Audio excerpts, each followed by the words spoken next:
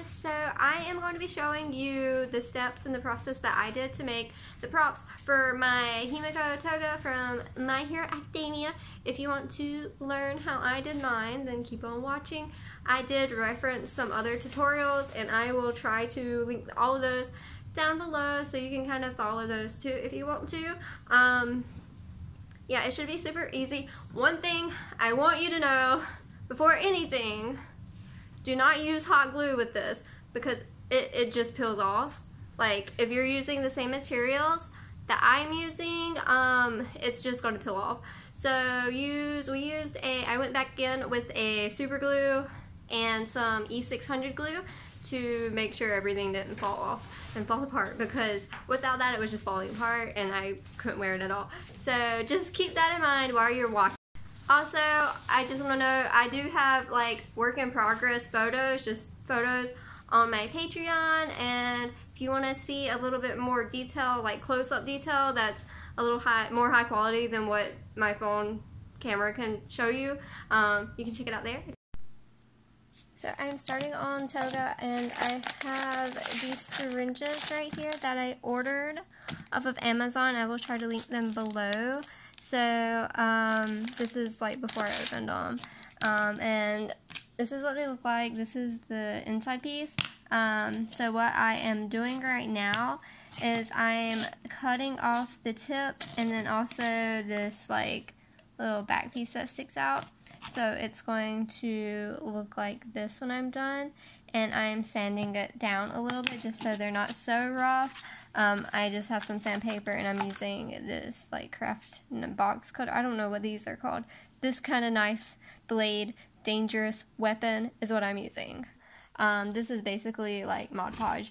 Um, just going to cover this with that and let it dry. And then I'm going to be painting it with this uh, gray acrylic paint. I'm just going to do like one or two layers of this and then a one or two layers of this on top. So this is going to be like my base coat. Um, and this will be the top coat because this is like a metallic silver but it's kind of translucent so I want to make sure I do have a base coat just for it to stick to better. Here's the syringes now that I have painted them. So I just measured out about how wide I want the little green band to be and this is just regular craft foam that I'm using it on. So this is some, this is cleaning bottles um, that I have cleaned out. do is cut it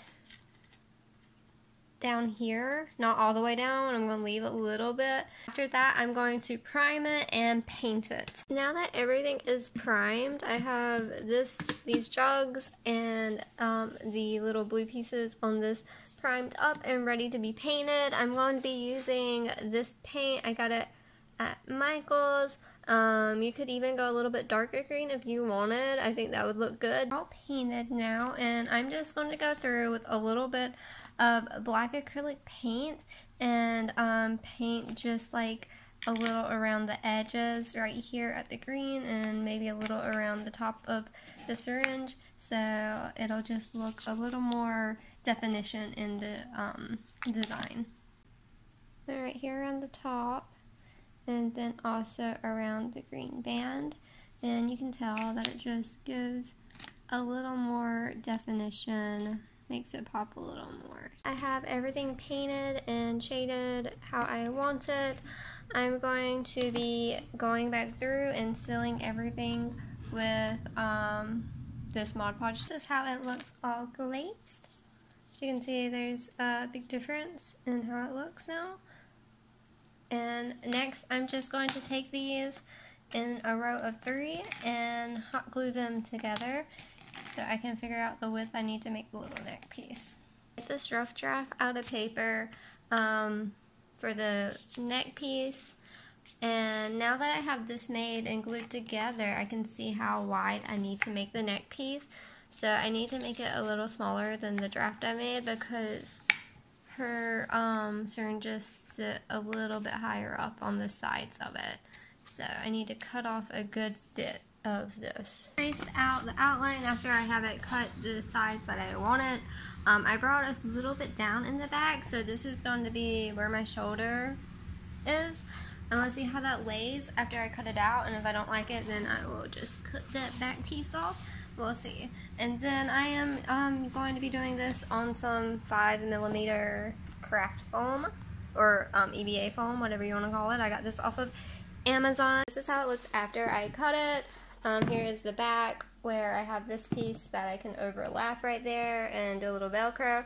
Um, I checked it, I tried it on and held it to where I wanted it to be so you can see that little line so I'm actually going to cut some of this back off. It'll probably be different for everyone. I'm very petite so this is going to be pretty small. Um, it's big enough to go over my head but yeah, I think I'm going to end up velcroing in the back just to make it easier to come on and off. A really dark navy, it almost looks black. Um, this is just felt. I have a bunch of these little felt sheets that I'm just going to hot glue over this so I can close it easily and put it on and off. But yeah, that's how it, ooh, that's how it looks so far with this on there. There's a few pieces of hot glue that I have to get off. But other than that, I think it looks pretty good. Um, the syringes should cover this part right here, so I'm not worried at all about that. I'm drawing out different patterns for teeth and I'm going to come out and see what lays best on the mask and then I'm going to make some out of craft foam. Just traced the um, pattern that I made for the teeth onto some 10 millimeter foam and then I'm going to cut it out. I'm going to go through and Dremel the sides to kind of smooth them and round them some. As you can see, it's kind of fuzzy after that. I'm going to go in with the heat gun and kind of try to smooth it out. The heat will kind of melt it and you can kind of like smooth it by rubbing it on there after it's heated. So that's what I'm going to do. Paper mache boxes from Michaels I picked up. I didn't know what size I would need. Um, I think I'm going to use this size. Um, they're just plain boxes and they have a little lid. But they were $4. Um, and this is what I'm going to use on her belt and her little, on her thigh piece where she has her knives. I'm going to be taking the lids and I'm going to be hot gluing them together so they're even in size. So it's going to be like that. And this is what I'm going to use on the belt. And then for her little thigh piece where she has her knives, I'm just going to use the actual box for it because it is slightly wider. So, um, and I might just put a little piece of craft foam that I cut to the size and glue it on the back. Of her belt piece, it has um, these little squares. So I just measured this on regular craft foam, the size of the lid that I'm going to be using for the belt piece. And I'm going to cut this out and glue it onto here. Lightly heat this craft foam up and then I'm going to go in and make indentions using this um, on the lines that I made. That way it'll have a little bit of definition. I've added the indentions and also added a few little slits just to add a little bit extra detail to it. I'm going to be using 10 millimeter um, foam for the handle of the knife and then I'm going to use 5 millimeter for the blade. It looks once it's all put together. These are how they look after you finish doing all of that. Um, like I said, if you have larger boxes than I do, then you could totally try to make these little pieces look like actual knife handles.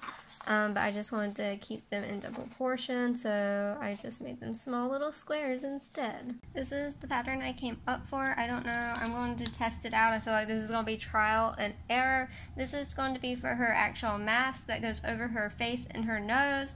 Um, and then I'm going to shape it out of the just the regular craft foam and see how that goes. And I'll be cutting two of these out, so we need two, one for each side. Figure out a size that works for you. You're going to cut both pieces out of the foam and you're going to start gluing it down along the curved edge that you made. And with it being curved, as you glue it, it's going to gain the dimension that it needs. This is how it looks in the end. I'm just going to prime everything and get it ready to be painted. I'm going to be using the same thing I used on her syringes, which is this, which is basically Mod Podge, just a different brand. And then we will paint everything the correct colors. Tubing for fish aquariums, and I'm going to be using this for her mask right here, like her one that goes on her face. And then also, I'm going to be connecting the syringes in the back to the tanks that she has. I just wanted to note to you guys that I am cutting the tubes at an angle. That way they lay a little bit better on the mask itself. So that's, that's how it looks right now with one tube on. I've decided that I'm going to take these tips that we cut off the syringes and stick them through the top of the syringe like this. They'll be a little bit shorter so they won't be sticking out as long and it'll look more like her photos and just paint them the silver color. These are the little black pieces that we originally took off of the syringes when we were taking them apart. Um, I cut little slits into each one and this is the tubing that we have and I cut it a little longer than what I thought I would need for it. So what I'm going to be doing is sticking the tubing through the slits and then hot gluing in the back to secure it. So it's going to look something like this. And then after you do that, we're just going to be sticking it in the back of each syringe. Look at some of her reference photos, you'll see that she has like a little box looking thing in between each jug. So I'm going to take one of these little cardboard boxes from before that we got at Michael's and I'm just going to paint it green and um, seal it in so it matches and it has the shine and everything. And then all that's left to do is to put everything together, like connect it, put this on a belt with these things, and yeah, that's pretty much it.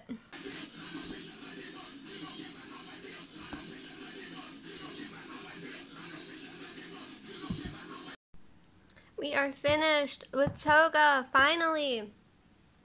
So I'm going to just let you know a big issue that I had while making this was the hot glue would not hold. The surfaces are too slick and smooth for the hot glue to hold. So I highly recommend using a different glue. I had to go back through everything that I glued pretty much and use a different glue because, like I said, the hot glue was basically falling apart. Um, I used E600 glue and some super glue for pretty much everything that was just coming apart.